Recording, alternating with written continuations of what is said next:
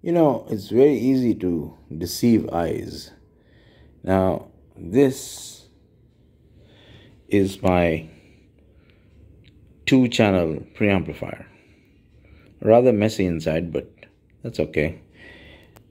On the outside, this is the first gain of the first preamp.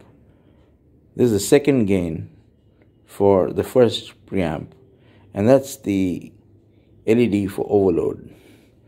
That's the first gain for the second preamp, and second for the second, of course, and that's again the uh, here is the phantom power switch on and off. So this guy is the number one for this guy, and number two for that and of course the indicators and this is the power on switch.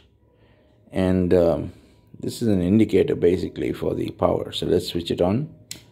Okay we got power. And if I switch on the phantom for this guy I guess the overload LED might just come on for some time. Okay it didn't. That's fine. That's actually better.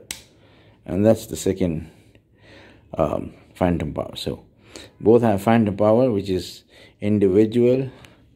Um, inside, unfortunately, it's not a very pretty sight. But that's okay. I can live with that. I didn't have the time to actually drill holes and make this look really neat, but that's all right. And I also didn't have a R core transformer there I'm using a regular 18018 there, so I didn't give a damn.